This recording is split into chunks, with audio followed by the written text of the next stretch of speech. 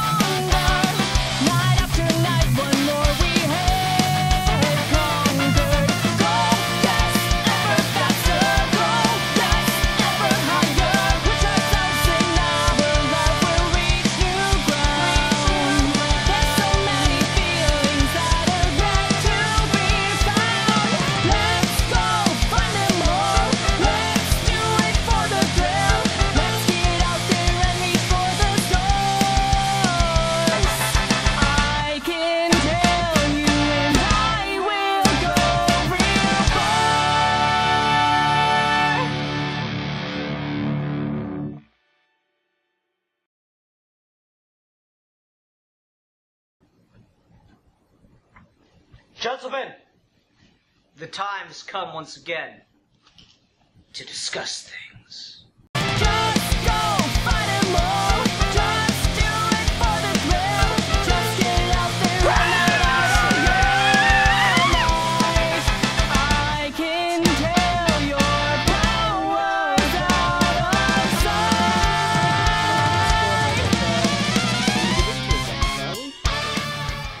Hi, everyone. Welcome to another episode of Geeky Gentlemen Fan Project Reviews. Because I like branching out. Usually it's fan films. This week, kind of, sort of, not so much.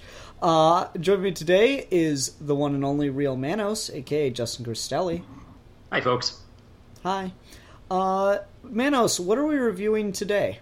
We are reviewing a DBZ uh, fan film, a fan animation, actually. Uh, I think it's Dragon Ball R and R. Yes, that is correct. Dragon Ball R and R. So I told you a little bit about the background of this, but I'll just go over it real quick for people who are unaware.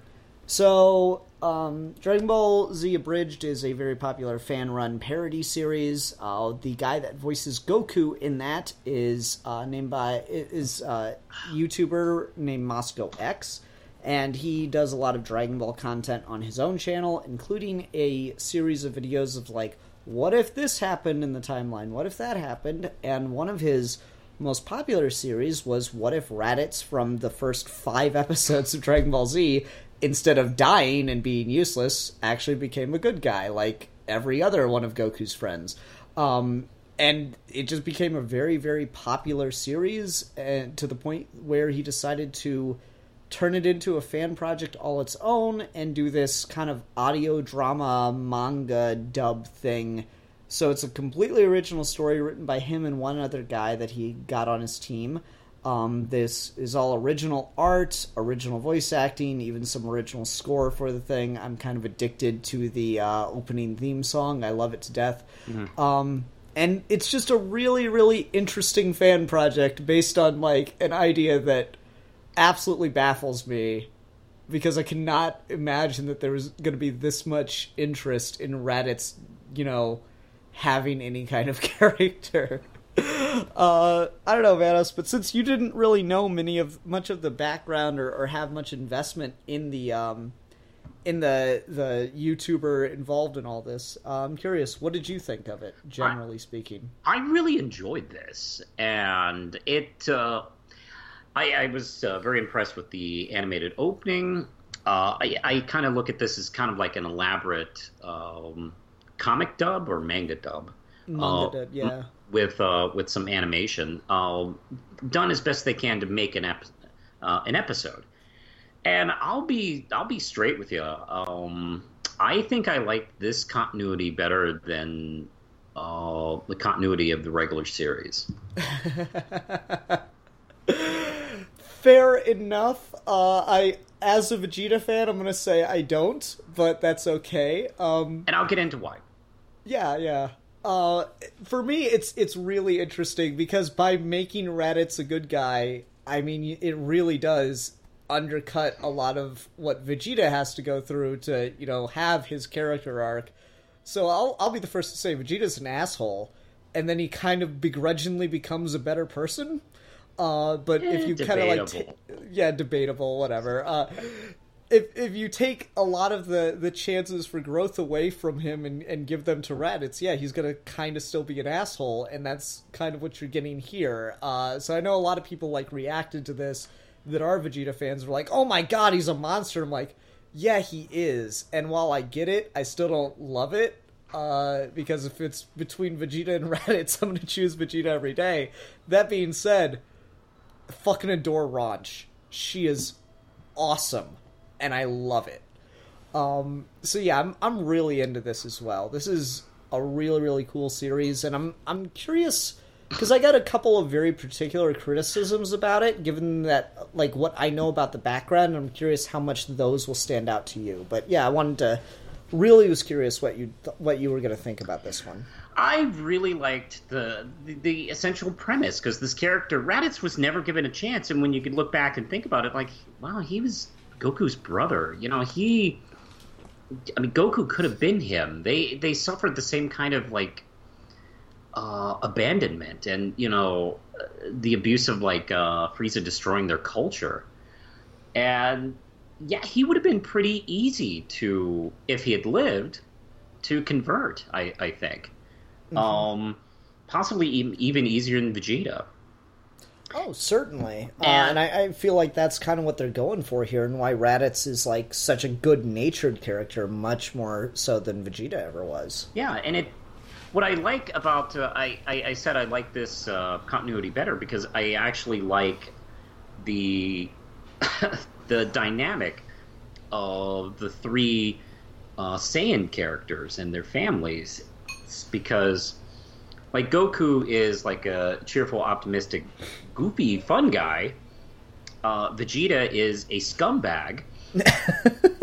and Raditz is kind of in the middle, and I really like that. Um, I and uh, yes, I do enjoy his um, his daughter Raunch uh, a lot, um, and I, I like what their uh, relationship does to their kids and affects their relationship. Uh, I like the the relationship between the three kids, uh, Goten's, Trunks, and Raunch. Um, there's a lot of potential here, and when I see this, when I, I watched this this this morning, actually, I was actually really kind of disappointed in the regular show for not thinking of doing this because I, I I I watched some episodes just recently because they've been showing um, I think it's Super on uh, Adult Swim right now. It's like uh, I really do like this better than Super. I, I like this this arrangement obviously because it's not a fully animated series. Yeah, yeah. Um, Uh, but I, I like this character stuff. Yeah, and that's the thing that I really like about this premise because it's called R and R for Raditz and Raunch, Yep. but it's also got the the undertone and and he pitched it this way when he like announced it on his channel as like uh, doing a casting call for voice actors and stuff.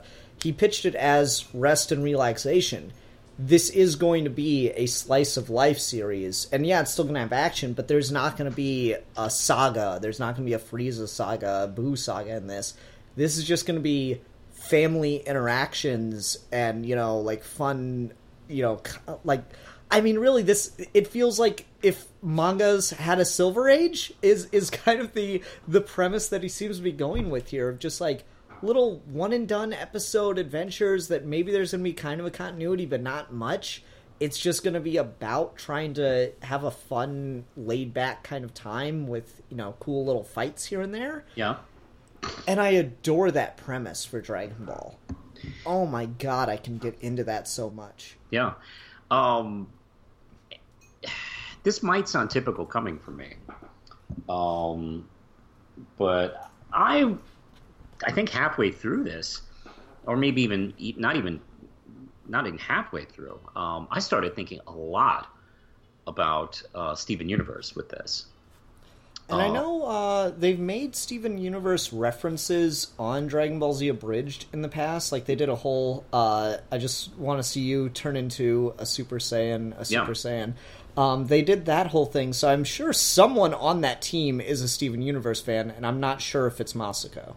It's interesting because uh, I, I, I know you, you haven't watched uh, Steven Universe, but there is a lot of uh, influence Dragon Ball Z has had on Steven Universe uh, with the nature of fusion, uh, and you know, you know the characters have fusion powers. Uh, they even do a dance. Uh, their dance is a lot more elaborate, by the way. um, and there's even like subtle references here and there. Uh, there's a hilarious, there's a blink and you miss it uh, reference uh, of an episode called Nightmare Hospital where they're fighting monsters at a hospital, and on a staff sign, like you know, of, of the doctors working, is uh, at the top Doctor Gero. um, and yeah, um, fusion is definitely uh, a big influence in that show, and it's kind of neat to see. I think the way the relationships are done in that show kind of remind me of the way he's doing relationships with, with the DB, DBZ characters in this, because uh, Fusion. What's interesting about Fusion versus uh, and Steven Universe versus uh, Dragon Ball Z is that um, Dragon Ball Z has only really paid attention to what Fusion does as far as like your power levels and your abilities, uh, and working together. Doesn't really take in the fact that uh, these characters like literally share their bodies, uh, and what it might do emotionally to them. It does not. It never even like bridges the subject. At least I've never seen. Um, I haven't seen. to a, a slight extent, but not nearly the level of what you're talking about. Yeah, I'd and, say. and on Steven Universe, uh, that is like the lead, and you know, it's like been a metaphor for sex. It's been a metaphor for late relationships. It's been a uh, metaphor for uh, sexual abuse on the show, and it's really like dealt with like like what it really means. And now we go to this, and I'm kind of seeing that kind of come into play uh, with the the Trunks and Raunch um, fusion. And Yeah. that Yeah. and uh, and how like he obviously I think had a crush on her, and you know they fuse, and you know, uh, that you know kind of like you know i- i- is dealt with, uh, especially at the end, and uh, it's like man, that's I don't know, I I, I can't I. I don't know. I guess he has made, uh, or his crew has made references, so they've obviously seen it. So I, I, it's kind of fun to think about. Maybe now that's kind of like paying it back. Uh, Even Mm-hmm. it all it all comes full circle. all comes full circle. Like because you know the Steven and Con- Connie fusion is a male female fusion, uh, and that character Stevonnie is like gender neutral. And uh, you know, here we go with uh, Trunks and uh, Raunch doing that. It's like, yeah, I mean, that, that's all. Like, I, I don't. know, That's like all I was thinking about. Like, ten minutes into this, Yeah, I mean it's really really interesting to see the way this all works out. Um, I do like a lot of what they're playing with with Fusion uh, because Fusion, like most of the stuff in the Boo arc, is just one of those really cool ideas that they never did anything with, and it just got thrown out. Yeah. To be fair, I haven't I haven't watched Super, so I don't re- know what, what's done with it there, but still. Um, so fusion was just like this really cool thing and then so they're they're able here to make it really cool but also do some really interesting character stuff where like yeah you've got a boy and a girl who both like each other but don't want to just come out and say it because they're they're a little too young to to be able to express those feelings. Um, and to just see how that like kind of interaction um, builds off of itself yeah i really really like that. Um, and it's also like it's just it's cute it's adorable uh, when you get right down to it that that you've got like this whole boys are better girls are better debate coming through in that way um, it's just so classic kid shit you know? And i really really enjoy that about it. Um, because you know say what you will about the the boo arc and stuff i really loved the way the kids were written there. Trunks and goten were a lot of fun in that arc and i, I did enjoy them. They get it gets a little much but i still love it. Um, whereas but now throwing Raunch in here uh, is it just adds a whole new dimension. Um, I also really like it because fucking a girl goes Super Saiyan. Um, thank you. Like, God, that always bugged the shit out of me with um with Pan in GT, and I know that they they've done it with uh one of the Universe Six Saiyans in Super, but still. Uh, it took you know ten years too long or whatever. Um, Yeah. So just shit like that. Yay! Thank you. Uh, We got a girl who's not only is she as strong as the boys, she's also smarter than both of them, literally combined. Yeah. Uh, like she she goes, okay, they're gonna fuse and go Super Saiyan three right off the bat. Called it. Uh, it. It's so like she's got this level of of insight into them, and the thing I love about this show is it's going to be focused mostly on Raunch and Raditz, Well, but yeah, in mean, particular on the kids. Um, in particular on the kids, and Yeah. that's that's so good. And that's one of the potentially great ideas about letting Rabbit Raditz live. Uh, is like, what could he have contributed to this, uh, the world? And wow, I mean, it just it's just a simple it's just a simple thing, one simple thing. I mean, I, the funny thing is, that's pretty much all of Dragon Ball fan stuff I've seen as far as like out there fan projects. Is Yeah. it? There's a couple things that just kind of continue the story from the end of Z on their own before you had stuff like Super and and didn't really get into GT.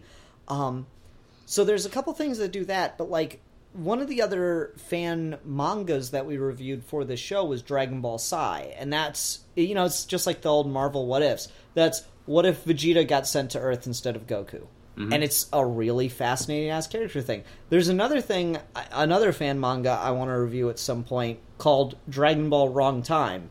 What if Trunks' his time machine fucked up and he ended up in the Saiyan saga as opposed to the Android saga? Ah, That's like that shit's fascinating. These little alternate little timeline things, and just just these little tweaks to the continuity that completely change everything.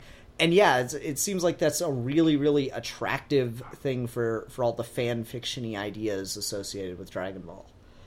Um, let me ask you this: Do you think it's it's, it's basically fan fiction? I more so than a lot of fan films. I feel this this kind of enters the realm of fan fiction because we have you know original character and and all this other dynamics that add into it.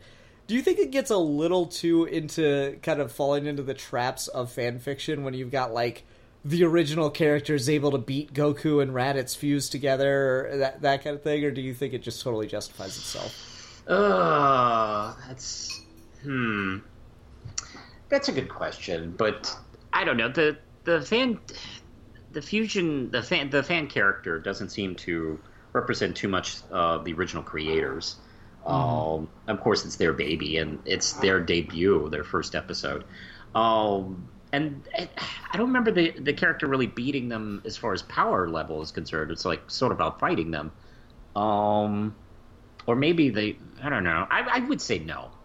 Yeah, I I, I could see that criticism because it like definitely entered my head, but I don't know, it just so worked for me. Uh, like it's it's one of those things you can get away with it as long as you can get away with it. Yeah. Um, and and I really really did, dug dug the way it worked. Yeah, I mean they did beat they did beat them like dominated them. You know, they didn't destroy them. Um, Then we'd be kind of talking fan fiction kind of level writing.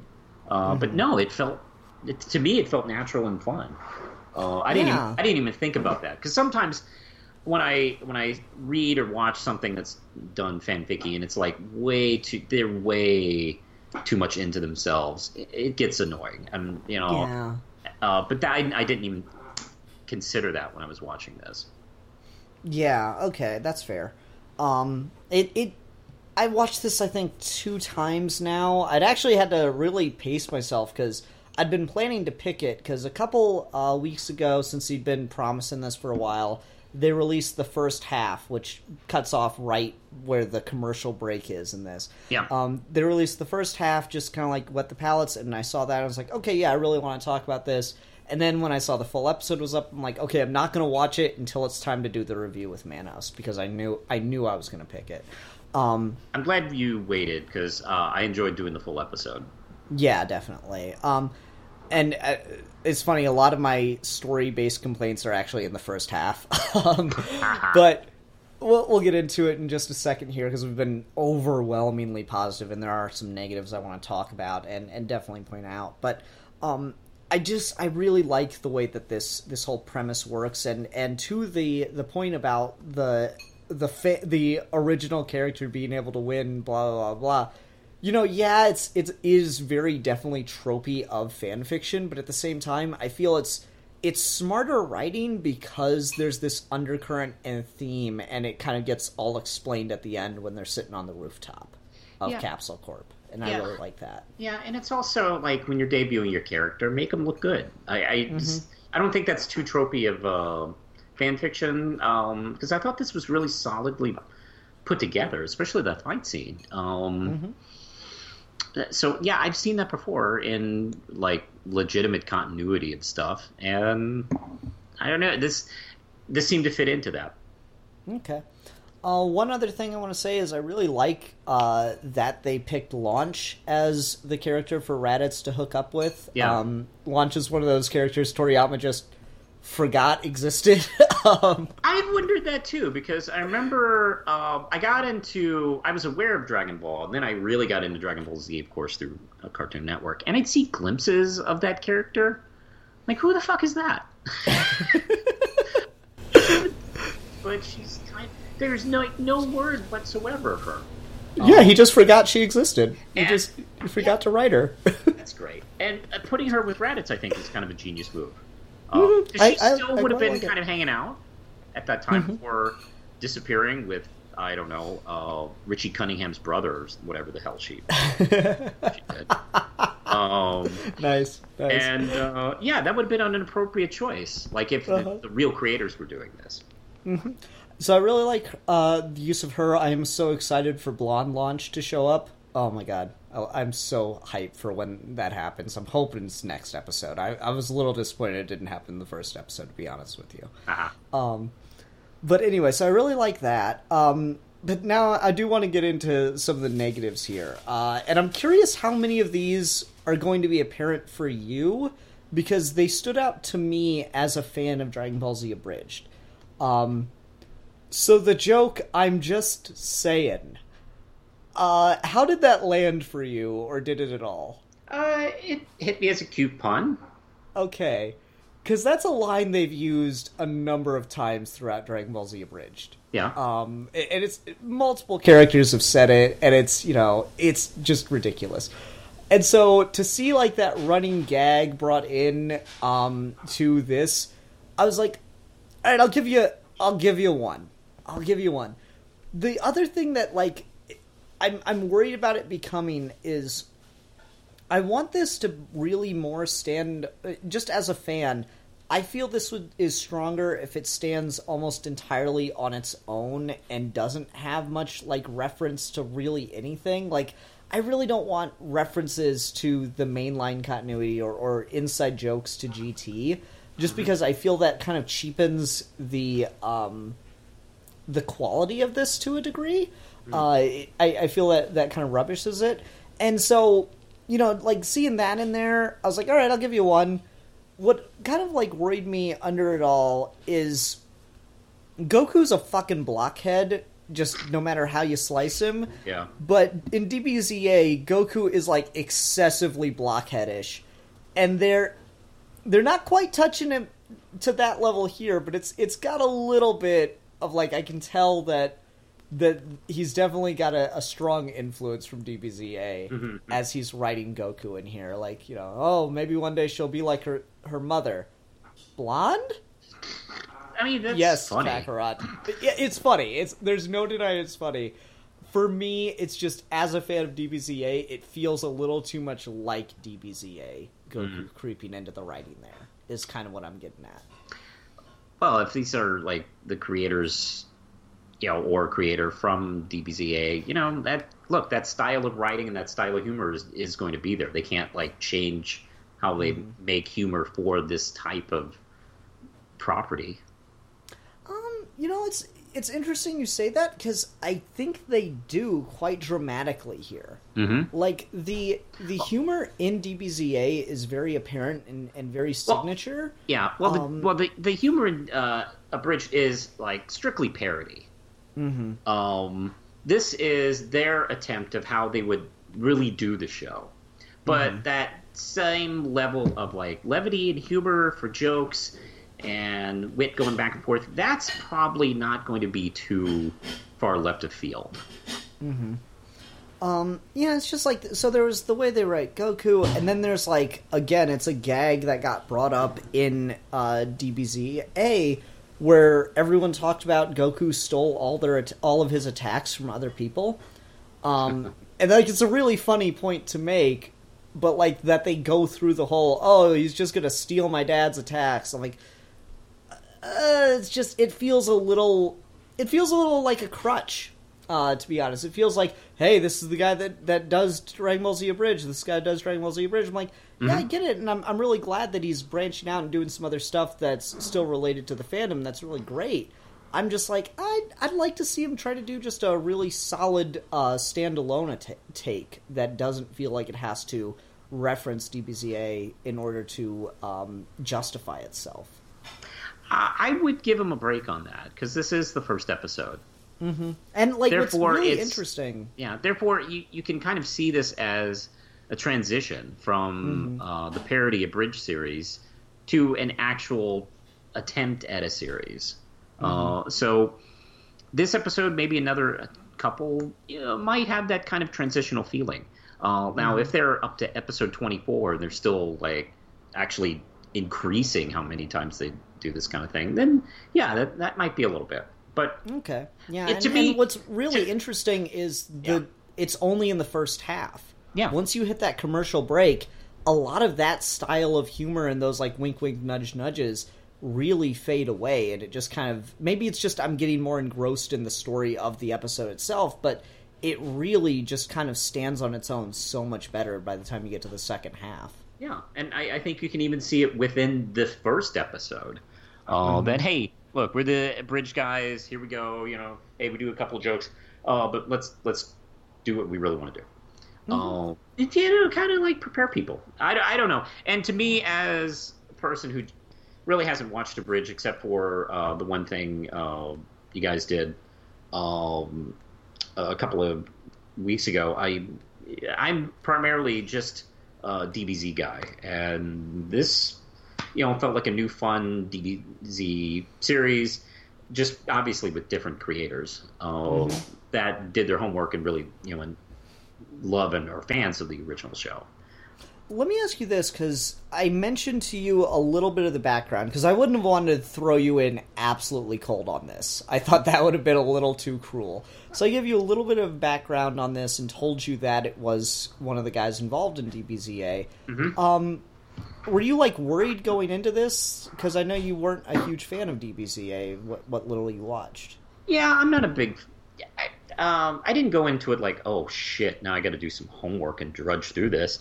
Um, I thought, okay, let's check it out. Uh, I Okay. went into it with an open mind. All right.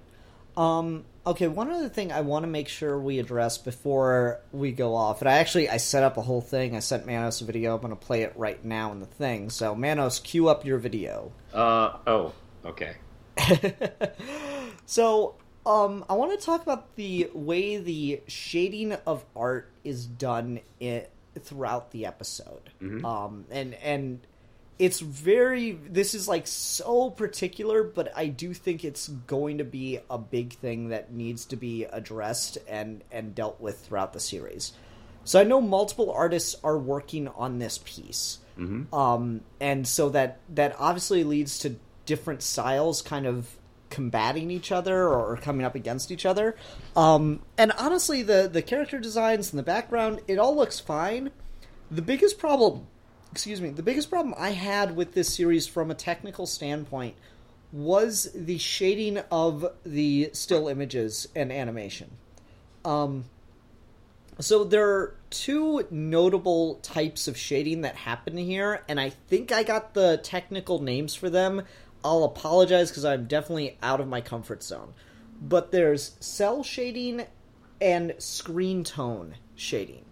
Uh, so in the video that I'm playing, you'll see a uh, cel shaded Vegeta and a screen tone shaded Vegeta. And what I found interesting is these two still images I captured are both from the same scene, literally broken up only by a couple shots, a, a few seconds apart.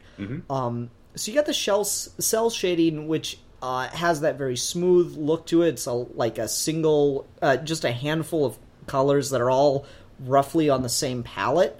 Um, and then you got the screen tone shading, which has this gridded look to it, right? Yes. So you can t- you can easily distinguish what I'm talking about. Um, now, generally speaking, I just as a thing that I like, I definitely prefer cel shading, but rather than just do something to please my sensibilities, I would say I would caution them against as much as possible using any of the screen tone shading. That's a medium. That's a, that's a way of visualizing art that works fine in print, but especially putting it on screen, and especially when you're doing these pan and, and crops and stuff and zooms on your still images, it causes a very particular problem that happens on some screens but not others. And that's called phasing.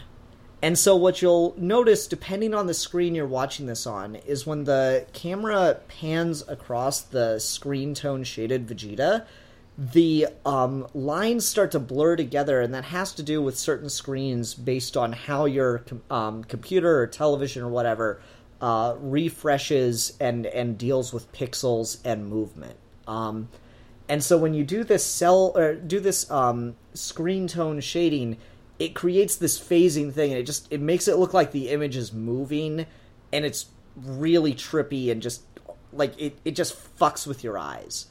And so I'm really really gonna say I I don't know what the capabilities of all these different artists they've got working on this are, but if at all possible, they should really try to standardize and only use cel shading or only use the screen tone shading in backgrounds or on still images only. Don't use it on moving images. Um, and I know that's like really specific, but to me that goes beyond nitpick and really can become a significant problem because of how distracting it potentially can be to the piece. Did, did you notice that at all while you were watching? I don't know what you watched this on because it's not going to be everybody's TV, everybody's laptop screen. Um, I watched this on my laptop. Sometimes I watch these videos on my TV. This one I chose to watch on my laptop. I didn't notice a specific difference. I did notice when you showed me the sent me the video. mhm. Uh, but Yeah. that's that's only you basically pointing it out to me. I didn't catch it in the particular episode. Th- Okay, and it's it's interesting because the tighter the um the screen printing, the gridding and and dotting, depending on what you're using, the tighter the image is uh, of that, the the less it's noticeable. But like the bigger the dots or or lines, the more it just starts to fuck with your your eyes. It's a thing that like I've always had, um, and you know, it was drilled into me back when I was working on the new at the news station doing visual editing. So it's something that definitely jumps out to me more. But I can I can tell you it's it's not something you really want at the end of the day. You want your art to look as as good as it possibly can, and it'd be a completely different discussion if they were printing this and, and selling it. But that the format for this, that the medium that this is being presented in is online video, I really, really think they need to, um, if at all possible, standardize to use cel shading as opposed to uh, screen tone shading. And again, I hope I'm using the right terminology there. I'm definitely not an expert on that aspect of it, but I can tell you the the screen tone or what I'm calling screen tone um, does cause your TVs it does cause some TVs and computers to phase, and it gets really really distracting. Well, if you're worried about getting too technical, I can kind of break that down a little bit for the layman. Um, so, anybody watching this, um, don't use the bad shading. Use the good one. Use the good one. Thank you, Manos. Thank You're you. here to save the day. No, that's, Um, that's what I do. Okay. Did you have anything like uh, negatives that you wanted to talk about with this? I don't know. I really enjoyed it. Uh, I enjoyed it way more than I expected. Um, Nice. I thought I'd like it, maybe, but um, yeah, I, I enjoyed the opening sequence a lot. Mm, that was Uh, so good. Oh my god! really well done. And I the didn't, opening and the the little uh, commercial break, man. yeah, and I have watched uh, comic dubs uh, on YouTube from time to time. So after uh, a minute, when I realized, oh, okay, that's what we have to do with this, it, you know, it very easily uh, was quick. I was I was very easily uh, able to get into it very quickly because it had the nice pacing down, even though it was mostly still shots, but some slight animation here and there. Uh, uh, you know, the effects and music worked really well. Um, I Uh, I really love the original score that this has. That it's got its own theme, not only just as an opening theme, but it's got like the the same uh, instrumental music is playing with a different tone to it for action fighting. yeah. Uh, when you get into it, God, that's great. Um, I have no idea how he's getting away with advertising on this, but I, I like I applaud him. The the it's so weird the the legality that comes into like the manga stuff uh, compared to American uh, things, but that's a completely different discussion. I suppose Um, so. Um, I don't really have any like specific complaints or criticisms. Uh, it if it was like fully animated, I I would watch this. This would strike me as a good DBZ series or DB series. Yeah, I agree. I think it's it's really really well done, and you know it's such a wacky idea of a premise. This character who is in like five episodes, let's make him one of the main characters for this fan series. Yeah, and it's Oh, one of okay. yeah. And it's actually one of those natural ideas that you kind of feel dumb for not thinking about it. mm-hmm. It's like, Yeah. yeah. of course, Raditz actually would make sense to kind of join up with these guys. Um, to the point where, like, you know, hey, why didn't Goku, like, at some point, like, wish him back? Like, especially after they got more powerful. Mm-hmm. You know, like Yeah. maybe after being Super Saiyan, they go, hey, you know, why don't we give Raditz a chance? Wish him back. Like, we're, if, if he's he not goes that much- crazy, we just beat the shit out of him. You know, Yeah. it's whatever. yeah, everybody's a Super Saiyan now, so fuck it. Let's let's give him a shot. yeah, yeah. Um, and shit, like even Nappa. You know, it's funny. Like the He's one, got a series of what if Nappa turned good too. Well, he- here's the thing. You know, I was thinking about this um, after I watched it. Like, yeah, Raditz killed, no chance. Uh, Nappa killed, no chance. Vegeta, easily the worst of the three. Actually, no, I would disagree with you there, but I really don't want to get into a debate about the whole thing. No, no, no, not as a character, obviously, but as a person. Like, No, actually, I would. he always struck me. Oh, really? He always struck me as the most evil of the three. I Uh, guess. you know he's got he's got the most. All right, ignore the Bug Planet episode because that is just the animators filling in to give the manga time to catch up. Yeah. Um, ignore the Bug Planet episode. Vegeta literally doesn't kill anyone. They land on Earth and Nappa just fucking destroys a whole s- city for fun. Um, well, he so- kills like Nameks, Uh, yeah, I mean you get there, and then he laughs about it. Yeah, it takes time. Like, hey, But- we wish but everybody back. of the- Hey, we, what happened to those other Nameks from that village? And he's like, ha ha ha! I killed them. Yep, yep. Fuck he was you, a dick there. Piece no, of it- shit. he was a dick there, You- but at the same time, he didn't kill him for fun. Widow's peak motherfucker. you deserve to be dead. It's a it's a whole fucking discussion to talk about. But no, no, no. I actually, you, you can make an argument that that's really interesting because he is the worst of the three, so he had the longer journey to go to. Mm-hmm. Uh, but yeah, you know, these other guys didn't have a chance, and nobody seems to care. Um, especially the brother.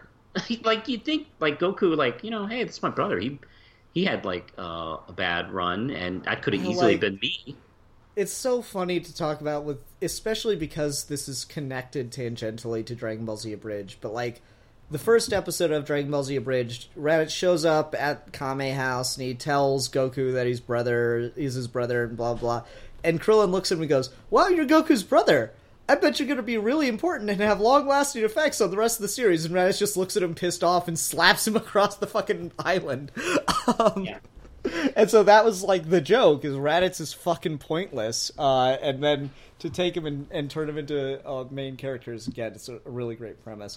Uh, again, I just want to say this. Um, I played it in the intro for the thrill as an opening theme song is fucking great. Yeah. I love it. There's a There's a three minute version on his channel if you want to just kind of jam out to it. I love the fucking trumpet in that shit. It's great. stuff. um, all right, you want to go ahead and go on to ratings then? Yeah, let's do that. Let's do this. Let's do this thing. All right, I'm going to go first just because I want to, uh, you know, kind of shock and, and say that I did love it to death. There is definite room for improvement, though, which I have no doubt in my mind will happen with the series as it goes along. Um, so, because of that, I'm going to give it a four out of five dead brothers that nothing interesting was ever done with until now. I have been struggling for the last hour or two as you know, I've been waiting to uh, do this recording of like, did I really have any severe issues with this outside of obviously not being uh, fully animated, which is not the fault of anybody creating. So, um, and I really couldn't find any reason to strike it down to four. So I'm gonna go with a five out of five. Father of the Year awards to Vegeta. By Saiyan standards, how do you know he's not? Like, really? Well, they they send their babies off to planets, just go conquer this planet, infant child. Well, if it makes you feel any better, like Joe Jackson won. So I mean, Oh, man. Alrighty. Um, okay, Manos, what are we going to be talking about next time? I thought it might be fun to uh, do one that just premiered like a month or two ago, and it is a Green Hornet fan film.